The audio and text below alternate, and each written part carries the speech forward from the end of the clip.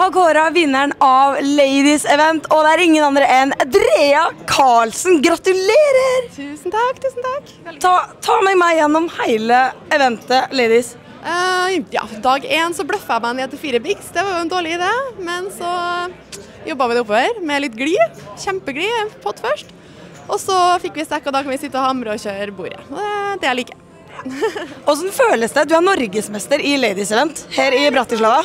Det litt shaky. Ja, jeg er faktisk litt shaky akkurat nå, for det, det er gøy. Det er kjempegøy.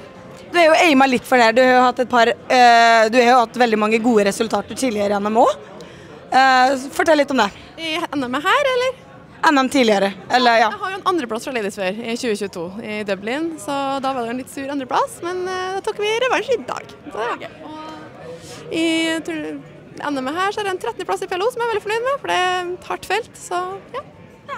Hva er planen videre? Skal du feire? Skal du rett inn i en ny turnering? Hva skal du? Nei, si det. Jeg skal jo ta tidlig fly i morgen, så jeg kan kanskje ikke feire for hardt, men litt middag og litt eh, Prosecco, det høres ut som en bra feiring. Jeg er veldig enig. Og dette her er supergøy, og jeg skulle ønske jeg kunne bli med Ladies sjøl, men Drea Karlsen er vinner av Årets Ladies, og vi er superhappy med det.